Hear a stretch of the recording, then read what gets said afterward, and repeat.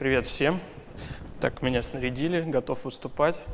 А, о чем я сегодня хотел поговорить? А, ну вот вы тему видите. Сегодня мы рассмотрим, какие основные принципы следует, каких основных принципов следует придерживаться при создании приложений под Android Wear и какие основные мотивы и идеи закладывались э, дизайнерами Google, когда они, собственно, проектировали эту операционную систему. Вот. Э, я технический директор компании Surf. Э, мы уже 4 года занимаемся только мобильными э, приложениями под iOS, под Android. Вот в этом году начали заниматься еще под Google Glass и под Wear. Пробуем всякие штуки интересные. И вот хотелось бы рассказать. Еще немножко рекламы пока никто не устал. Э, мы сейчас делаем свой проект. Это приложение под Android Wear, гитарный тюнер. В дальнейшем еще будет определенное развитие в виде лупера и прочих функций. Э, в общем, кому интересно, ждите анонса на нашем сайте. И сегодня про него тоже чуть-чуть будет вот, э, рассказывать. О чем же пойдет речь сегодня? Э, во-первых, принципы, которые закладывались при создании Android Wear дизайнерами и которые следует учитывать, если вы хотите создать классное приложение.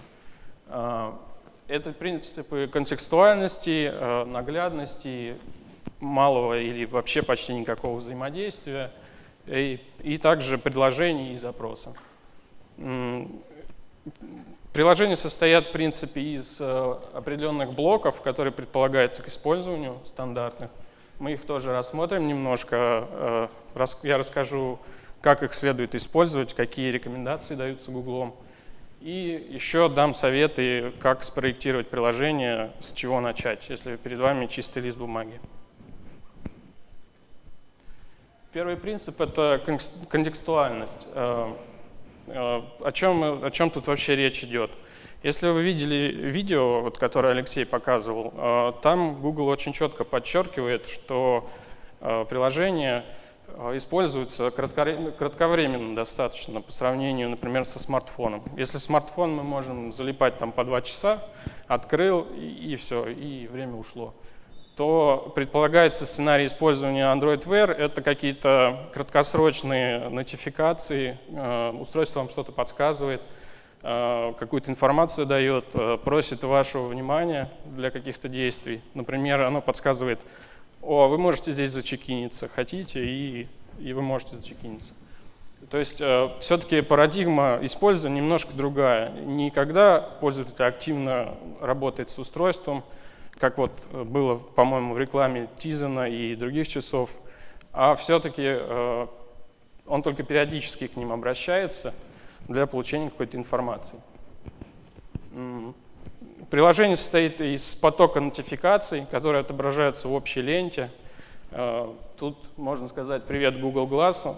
Вообще во многом похожи принципы создания приложений для Google Glass Android Wear, как раз потому, что очень близки были команды дизайнеров, которые это проектировали. И, э, соответственно, э, многие принципы применимы и Google Glass.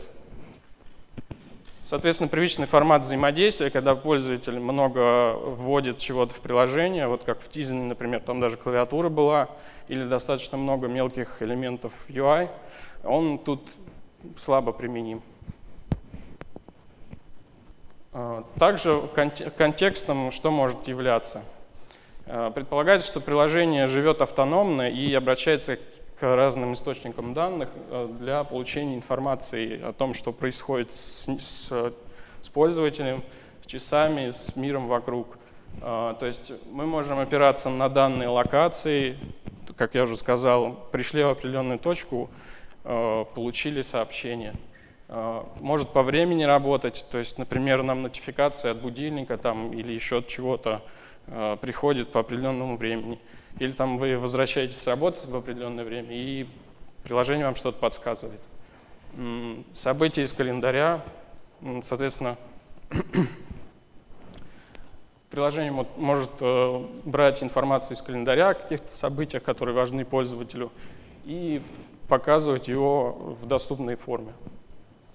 Identity — это каждый человек и каждое устройство обладает определенной информацией индивидуальной, такие как там логины, пароли различные, имена, фотографии. Соответственно, приложение может широко использовать эти возможности, например, брать аватарки откуда-нибудь там из Фейсбука, из ВКонтакте, еще откуда-то.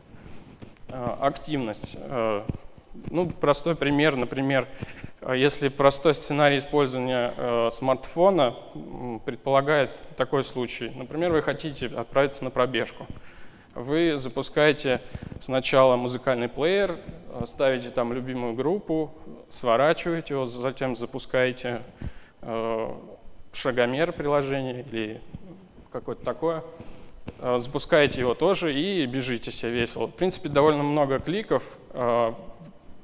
Парадигма Android Wear предполагает, что приложение может само узнать, когда вы начали заниматься какой-то активностью. Например, оно могло бы, э, когда вы побежали, автоматически стартовать вам музыкальный плеер, если у вас так настроено, и э, стартовать шагомер э, и показать, что оно знает, что вы бежите. Ничего нажимать не нужно, в маленький экран смотреть не нужно, все, в принципе, работает само. Вот. Также широкие возможности взаимодействия с другими девайсами. Например, ну, тоже под управлением Android, к примеру, там, я не знаю, машины, холодильники, кофеварки, микроволновки и прочее.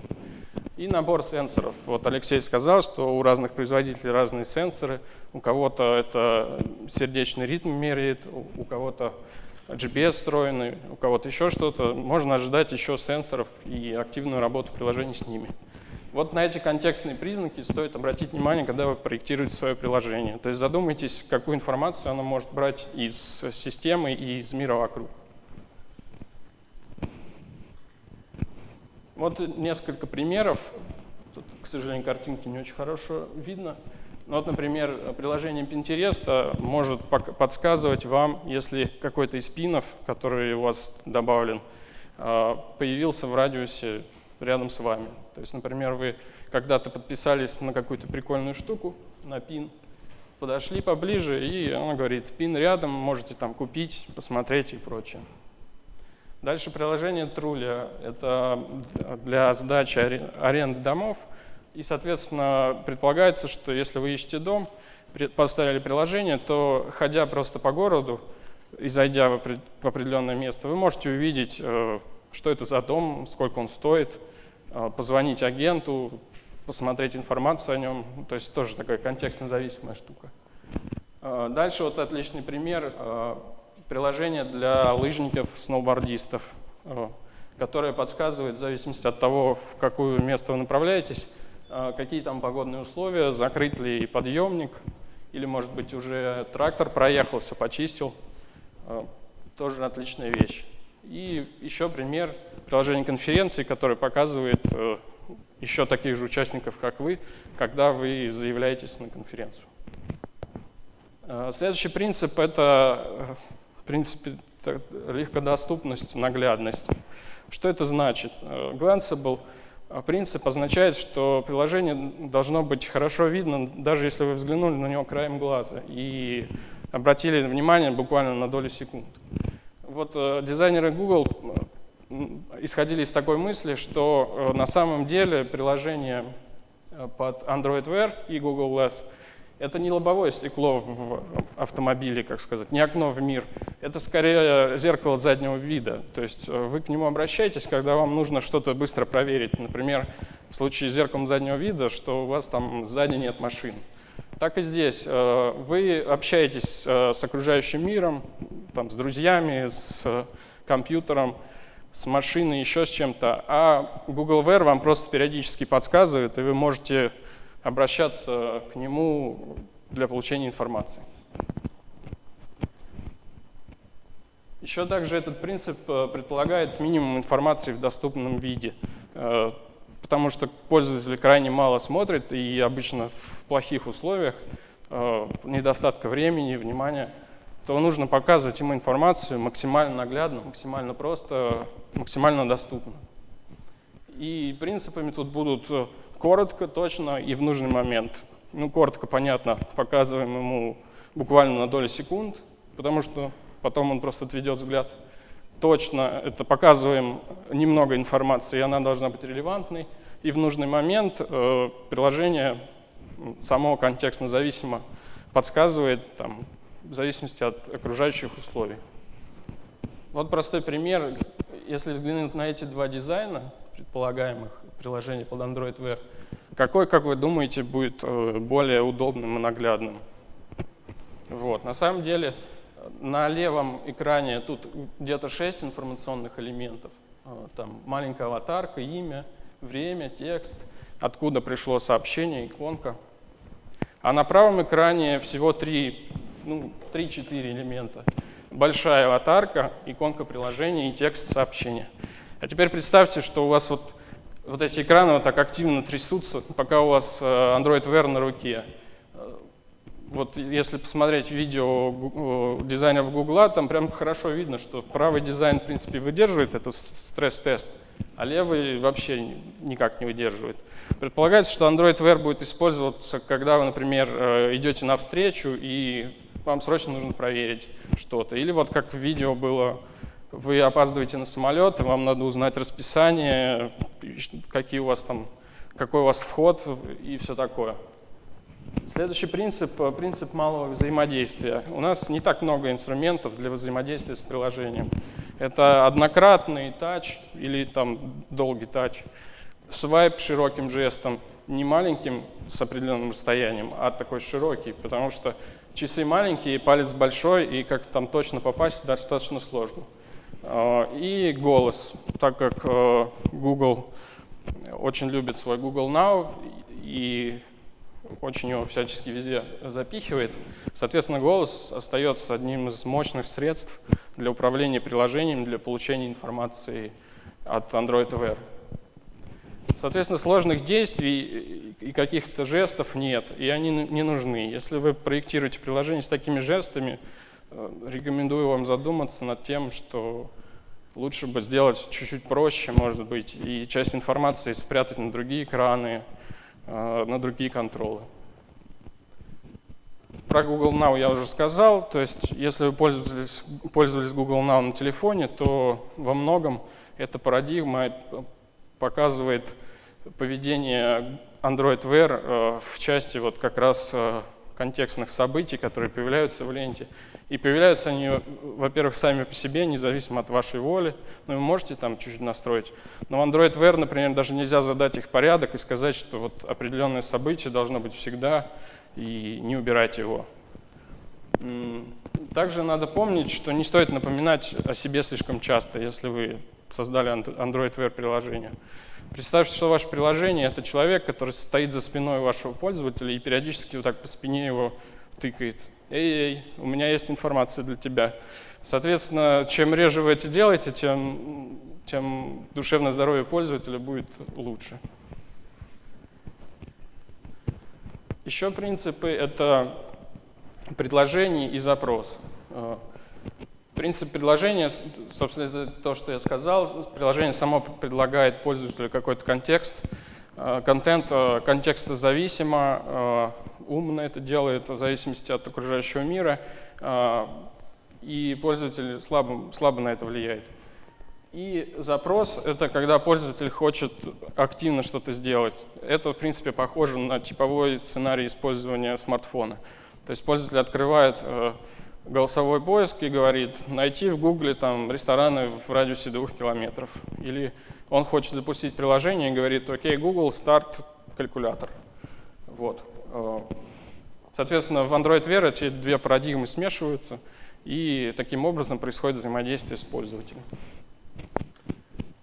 Ну вот, если видели, если пользовались, пользовались Android Wear, смотрели какие-то видео, может быть, то видели, что приложение представляет собой э, главный экран э, всего Android Wear, представляет собой такую длинную ленту э, карточек, нотификаций. В Google Glass, кстати, также сделано, которая э, который показывает, какие приложения вам, что вам говорят э, в текущий момент. Соответственно, вы можете свайпить их э, вверх-вниз, чтобы посмотреть. Э, если свайпить до упора влево, то вы можете карточку убрать. Если свайпить вправо, то появляются дополнительные карточки этого приложения и действия. Теперь пойдем по элементам UI, которые вообще есть и, и которым, о которых нужно задумываться, когда вы делаете приложение. Как раз э, элемент QCard, э, если прошлый элемент лента, это был принцип suggest, то есть лента сама предлагала вам какую-то информацию, то здесь принцип demand, э, то есть пользователь вводит информацию голосом, например, э, вот как на третьем скрине, где он э, что-то уже сказал, или как на втором скрине, когда у нас есть выбор из предопределенных вариантов, или как на первом скрине, когда мы выбираем действие не голосом, а просто скроллируя весь список действий. Так тоже можно. Э, вообще в Android Wear можно разделить приложение на три типа – Первое — это те, которые в основном используют базовые элементы UI, э, то есть карточки, события, действия и прочее, вот о чем я сейчас расскажу еще.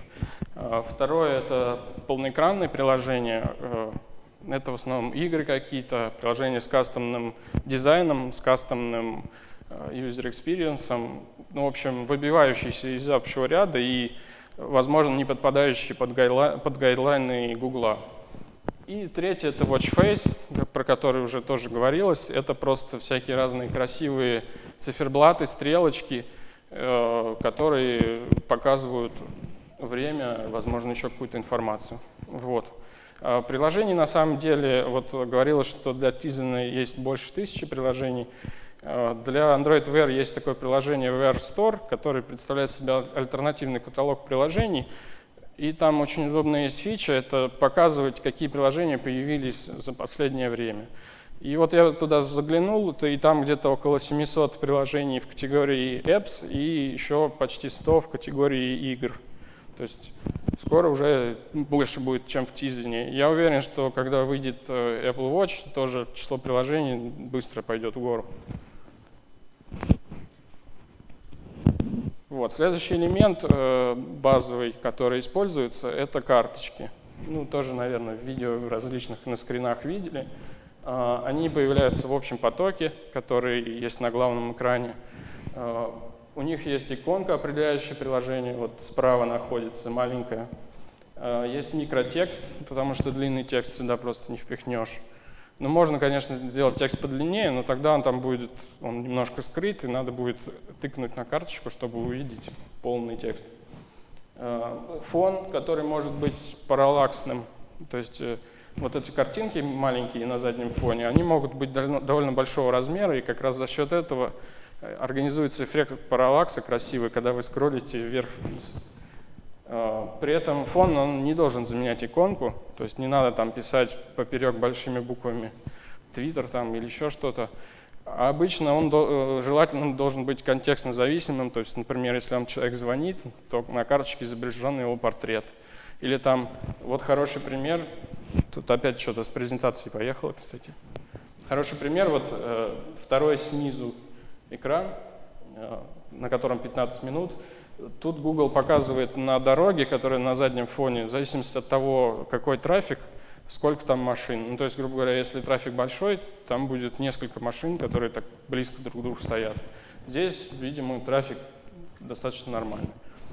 А, также на карточках могут быть элементы, с которыми можно взаимодействовать. То есть это вот э, кнопки, например, play, pause или еще какие-то э, Пожелание такое по действиям на карточках, э, не более одного-двух действий на одном экране, просто потому что трудно попасть пальцем, если у вас на экране очень много действий. Тут надо понимать, что набор ограничен, желательно ограничиться одним-двумя. Так, и вот еще карточка, э, карточки, которые группируются. Вот если у нас много есть одинаковых карт, вот как на примере с Gmail, то они группируются в стек э, и показываются как еще три. Нажимаем, там больше появляется. Соответственно, девелоперы могут все это задать для своих приложений, тоже сделать э, такие stacked notification. Э, все есть в SDK.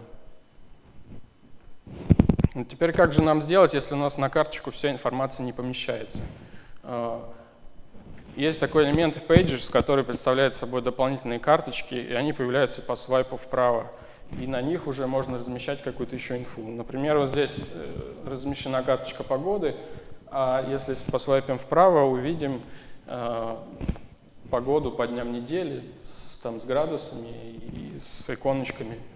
Э, их не должно быть много, потому что пользователь ленивый и свайпить далеко вправо не захочет. И порядок такой должен быть. Сначала основная карточка, потом вот эти дополнительные, а потом уже идут действия. Про действия следующий слайд. А, действие находится справа от, э, от карточек и от дополнительных карточек. Представляют собой вот такие прямоугольнички, в принципе, это стандартный довольно вид. Туда можно поместить свою иконку, текст, там, фон. И таким образом мы совершаем какие-то либо действия. Например, если у нас э, в потоке появился Twitter карт э, с новым твитом, то по свайпе вправо мы увидим там кнопочки такие, как «Ответить», «Ретвитнуть», «Добавить в избранное». Вот. Если это Gmail, то там будут «Удалить» и все такое. Э, желательно не делать их очень много, опять же, потому что э, тяжело будет свайпить далеко вправо. Желательно не более трех штук, как-то обойтись. То есть если у вас более, больше действий, это означает, что у вас на этой карте слишком сгруппирована информация или ее стоит разделить на несколько отдельных карт, которые как-то взаимодействуют.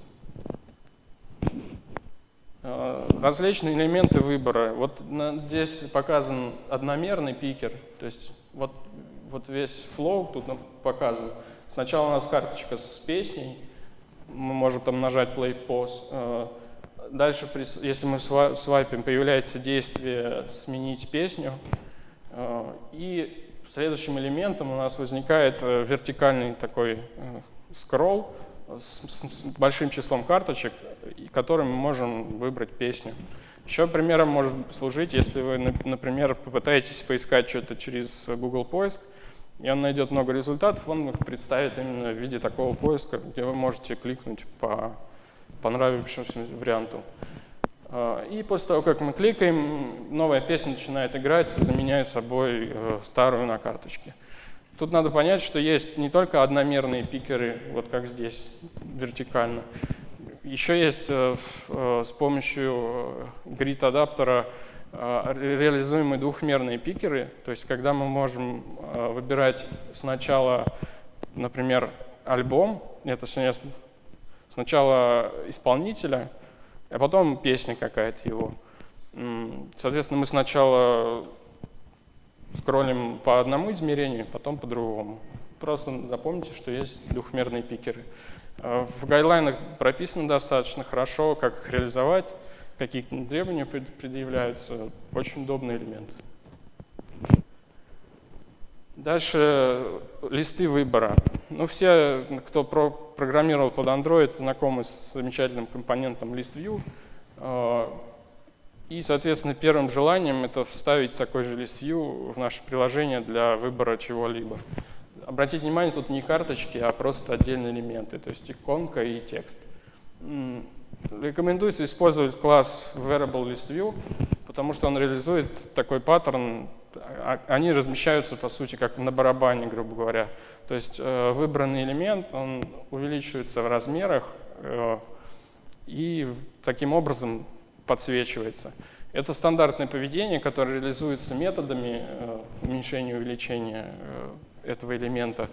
И вы можете легко сделать свое. Вот, например, слева это такой же элемент у Evernote. Тоже центральный элемент, как бы фокусируется на нем внимание.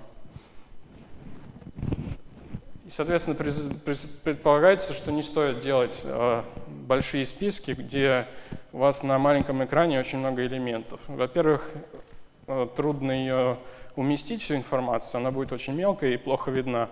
А во-вторых, кликнуть по ней будет еще большим мучением. Тут даже по трем элементам сложно попасть бывает. По большему числу вообще плохо. Используйте Variable List View для листов, и все у вас будет замечательно. Э, следующий паттерн, который хочется рассмотреть, это выход из приложения. Э, если с э, приложениями с стандартным интерфейсом карточек, действий и прочего более-менее понятно, там мы выходим, доскроллив до левой грани и от нее начиная скроллить, то с полноэкранными, например, приложениями, такими как игры, непонятно, что делать. Не хочется, чтобы наша игра э, свер... ну, вышла, мы вышли из нее просто случайно свайпнув не туда. Вот. Альтернативой предполагается использование долгого нажатия на экран. Вы долго нажимаете, появляется красный крестик, вы подтверждаете выход, и приложение убивается. А, соответственно, это тоже реализуется платформой достаточно легко. Достаточно показать э, dismiss overlay view поверх всех view на экране. И таким образом вы увидите вот этот самый элемент. Так, э, еще э, уже достаточно давно вышла Moto 360, и, соответственно, у нас появилась проблема разных видов экранов. Вот, часы красивые, но зато экран нестандартной формы. Э, если мы просто в лоб начнем делать какую-либо какую разметку, layout, например, просто положим в линер наш элемент с текстом, то на Moto 360 все будет выглядеть не очень красиво. Э, одно из решений этой проблемы — это использовать э, такой элемент, как э, Watch View Stub. Что это такое?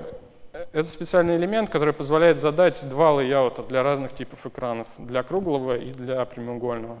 Вот если вы посмотрите строчки 8-9, то увидите, что как раз э, с помощью этих э, атрибутов можно задать э, XML для прямоугольного и круглого экранов. Ну, я не знаю, насколько все знакомы с Android-разработкой, но, в общем-то, вы, наверное, поняли, о чем речь, если вы знакомы. Второй, второй способ, как мы можем э, избавиться от проблемы разных видов экранов, это Box Inset Layout. Э, что это такое? Это специальный layout, который, по сути, на квадратном экране никак не, не слишком-то влияет на расположение элементов, а вот на круглом он заставляет их всех вписаться в прямоугольник, который внутри круга находится. И таким образом мы опять же можем контролировать расположение элементов. У него вот задаются паддинги, которые вот слева, справа э, есть. Э, ложные элементы выкладываются в квадрат, э, и с помощью атрибутов, например, мы можем задать, что у нас элемент будет в левом нижнем углу или в левом в правом нижнем углу, либо сверху. Соответственно, таким образом можно написать э, один layout вместо двух, как в предыдущем случае, и он будет более-менее выглядеть хорошо на обоих девайсах. Естественно, тут нужна практика и тестирование на реальном девайсе, но вот в SDK такой инструмент есть. Тоже пользуйтесь, если не хотите, чтобы пользователи Moto 360 э, чувствовали себя неуютно в вашем приложении. Еще один паттерн, который есть, это подтверждение действий. Так как пользователь э, часто набирает какие-то задачи голосом или случайно тыкает куда-то, или даже другой пользователь может голосом что-то сказать, такое тоже есть, э, то желательно предоставить возможность отменить действие и это делается с помощью элемента э, Delayed Confirmation View. Он вот так выглядит и позволяет задать интервал, в течение которого это все должно происходить. И если интервал истек, то действие совершается. Это полезно для таких действий, как, например, отправка смс с голоса или, например, удаление твита или письма, если вы нажали кнопку «Удалить».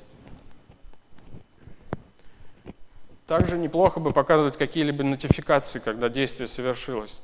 Ну, те, кто знаком с Android-разработкой, знают, что там есть всплывающее уведомление толстое внизу, либо диалоги. Здесь предполагается использование таких вот полноэкранных уведомлений. Они могут быть там зеленого, красного цвета, с крестиком, с восклицательным знаком, какие хотите. А, Но ну вот среди тех, что есть по умолчанию, можно использовать confirmation activity с, вот с такими типами, как успешная анимация, успешное совершение действий, неуспешные и открыть на телефоне. Во многих приложениях есть такая кнопка «Открыть контент на телефоне». Например, вам написали в Twitter, вы свайпите до кнопки «Открыть на телефоне» и работаете там. Или, например, э, там, в Trello или в Evernote вы что-то делаете, и понимаете, что с Android Wear это достаточно проблематично, и есть кнопка «Открыть тот же самый контент на телефоне». Соответственно, если у вас какой-то есть контент, который классно показать на телефоне вместо VR, делайте такую кнопку, точнее такую нотификацию с кнопкой и показывайте ее в нужный момент. А, как это работает вообще? А, создается Activity, которая представляет собой, по сути, а, просто экран с анимацией. Анимация проигрывается, Activity завершается, и мы едем дальше. Тоже очень просто и легко. Теперь еще про какие принципы хотелось поговорить при создании дизайна и программировании приложений. Э, желательно выделить главное, главную идею в вашем приложении и начать с нее проектирование Android Wear приложения, а не пытаться ужать уже готовое приложение под Android, под Wear. Тут просто вопрос подхода. Вроде кажется не сильно большая разница, но на деле получается, что если вы пытаетесь сужать, то очень сложно отказываться от того, другого, третьего. Я хочу сразу сказать, вот моя главная идея, я ее развиваю, а все остальное уж там как пойдет. Вот. То есть начинайте с, вот, с, с той идеи, которая лежит в корне вашего приложения. Остальные функции будете добавлять, если они хорошо впишутся или если это нужно. Еще короткие упражнения, которые могли бы вы э, провести, прежде чем писать Android Wear приложение. А, например, такое упражнение в разрезе контекста использования. А, представьте, что у вас пользователь – это хирург на операции. Хирургам на операции они сами ничего не берут. А, они всегда там говорят «дайте то, дайте все». И им сразу вкладывают в руку инструмент. Э, нормальный персонал, он даже не ждет, когда доктор скажет «дайте то, дайте все», он сам, они сами предугадывают его действия и подкладывают ему инструмент, когда нужно. Ему остается только взять. Э, похожий подход срабатывает с приложениями с Android Wear. Попытайтесь представить, что ваш пользователь, хирург, нуждается в каких-то инструментах, то есть в действиях, контенте, в чем-то таком. И каким образом и в какой момент вы можете ему их предоставить не требуя от него особого участия. Э, и, соответственно, это ведет нас к, ко второму пункту. Когда проектируете приложение, начните с проектирования карточек в потоке.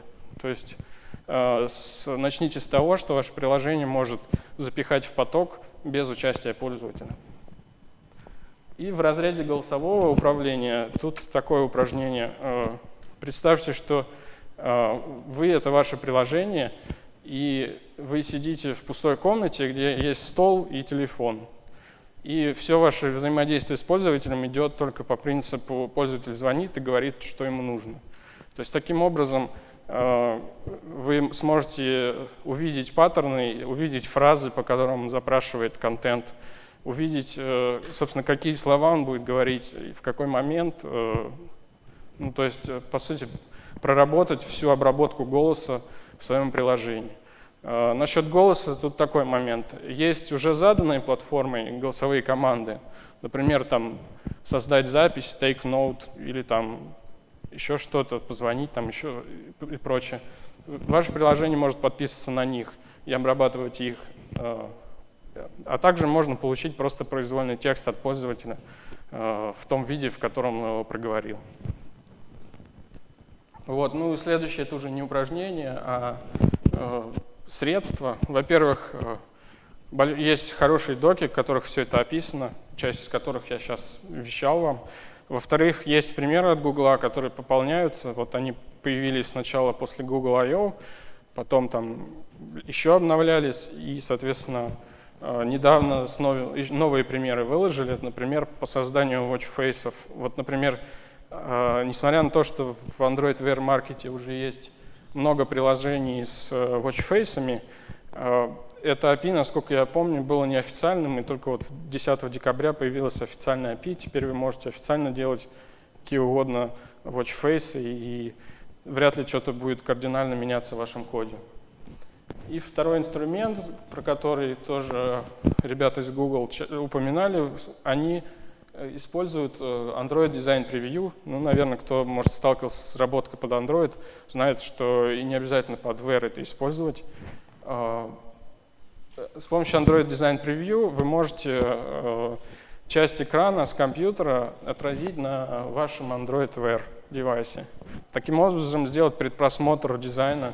Вот там, насколько я понимаю, Photoshop запущен, и экран, нарисованный в Photoshop, отображается на устройстве. В случае с телефонами это хорошо работает, в случае с Wearable еще лучше, потому что экран меньше, экран круглый бывает.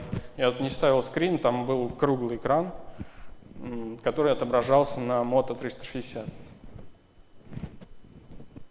Спасибо за внимание. Задавайте вопросы ваши. Вот. Добрый вечер, спасибо за лекцию. Насчет э, Android Preview. Он также работает и просто для смартфона? Да. Ага, понял. Хороший был Спасибо. Здравствуйте. Спасибо за презентацию. Подскажите, пожалуйста, вы говорили про э, программу, которая будет запускать, например, шагомер или музыку, когда там какая-то активная деятельность начинается. Э, от чего это будет зависеть? От получается, датчик движения как-то должен срабатывать, там, чтобы как бы, вдруг я, например, пойду быстро, он не заработает, наоборот, чересчур медленно. От чего как это будет зависеть как-то в программу прописанную в систему? Ну, это будет зависеть от разработчика приложения, соответственно, ну, простейший вариант, там, если у вас скорость определенная есть, то он включился. А уже как там э, это лучше сделать, это, конечно, другой вопрос. А что именно скорость будет? Идете ли вы, или стоите, или бежите? Нет, вот именно вот как программа будет определять эту скорость? Через что? Через, через датчик движения, через GPS. Спасибо. А, за доклад. Я вот э, я не услышал, или такого не было. Вот э, что насчет концепции однократного, двухкратного, трехкратного нажатия по часам? А, такого не, не практикуется?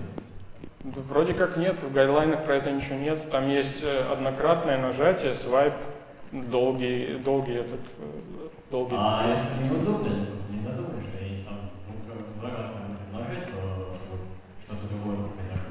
Ну, я не встречал. Может, вы, скорее всего, всего в своем приложении можете там обработать жесты как хотите, но как бы в официальных гайдлайнах такого нет, прям двукратного нажатия. Ребята, еще раз напоминаю, пообщаться с Вадимом Койковым, с Алексеем Рыбаком а, и с другими участниками конференции GDG Fest Воронеж 2014 можно будет завтра а, в 10 часов в офисе компании «Дагар» на практической части нашей конференции.